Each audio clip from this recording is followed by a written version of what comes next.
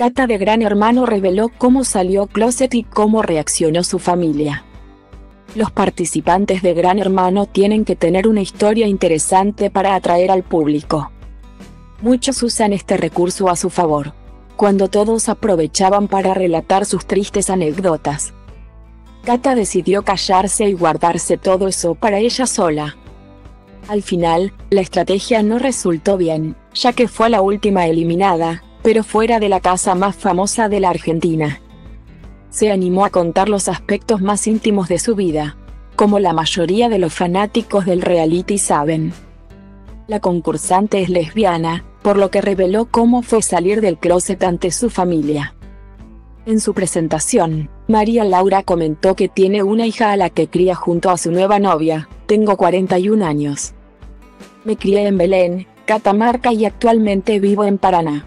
Soy peluquera canina y tengo una hija de 9 años. Que se llama Isabella. Ella tiene dos mamás. A mi nueva novia la conocí jugando al fútbol y era la pareja del entrenador. Después de eso me sacó del equipo. Fui muy aventurera, si tuviera que tatuarme los nombres de las personas con las que estuve. Tendría el mapa mundial en el cuerpo, aseguró sin perder la gracia.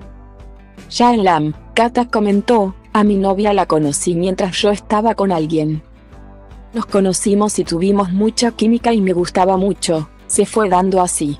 Ella me hablaba. Yo no era de fijarme en chicas que andan con hombres, se fue dando y terminamos enganchándonos.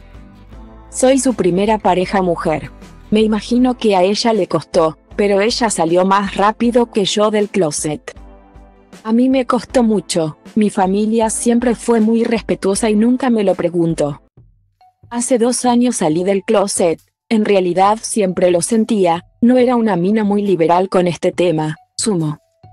Y agregó, a mí me ha ido mucha gente que venía y me decía, che gorda, te vamos a amar igual. Tenés que ser feliz, tu familia te va a amar igual, acá pasa por lo que vos sos como persona.